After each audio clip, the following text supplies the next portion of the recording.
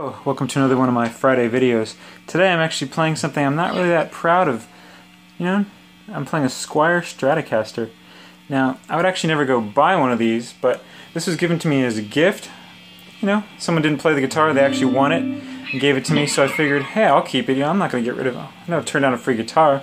But I actually uh, thought it'd be interesting to do a video just to show what it sounds like. You know, I'm plugged into my, my Vox amplifier. Thank mm -hmm.